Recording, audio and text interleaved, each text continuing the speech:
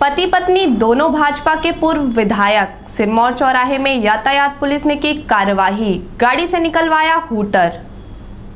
रविवार की दोपहर मनगवा से भाजपा के पूर्व विधायक पंचुलाल प्रजापति के पुत्र गाड़ी से सिरमौर चौराहे की तरफ़ आ रहे थे, जिसमें नियम विरुद्ध तरीके से हूटर लगा हुआ था, जिसको बजाया भी जा रहा था।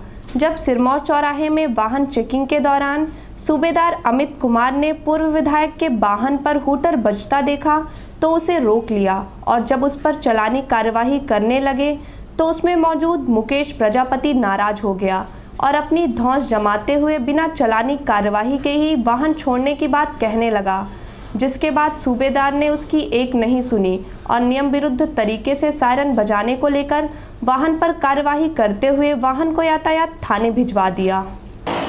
गाड़ी में जो है तो स्कूटर और साय, ये सायरन लगा हुआ है आपका और इनकी परमि, इसकी परमिशन इनके पास नहीं है।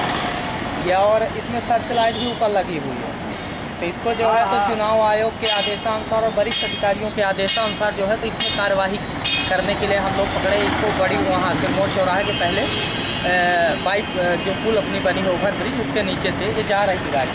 इसके बाद यहाँ थाने लाए ये घंटे से वेट कर रहे थे उसके बाद ये आए। बोले कि मैं चलान नहीं करवाऊँगा नंबर वंबर लेके गए नाम लिख के गए और ये गाड़ी खड़ी हुई है। किसकी गाड़ी है सर ये?